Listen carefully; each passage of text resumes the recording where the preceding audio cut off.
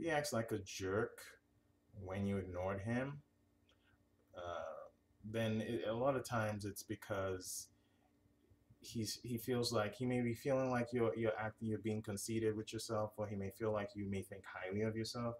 So in his way to kind of retort or or give you some kind of rebuttal, he's he's acting like a jerk, and and so maybe he starts talking to other girls or starts acting like, hey, you know, I don't see you either, whatever, or kind of giving you that look that's kind of mean. So in a lot of ways, it's him trying to show you, hey, I'm at your level. You can ignore me all you want, but I'm still cool.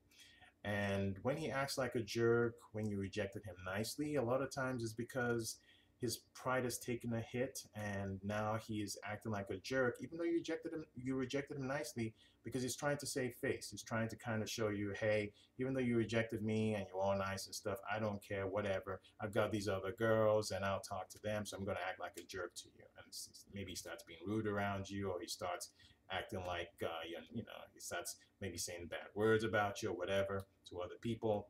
It's him trying to save face a lot of times. It's, it's like a defensive sort of a move that he has.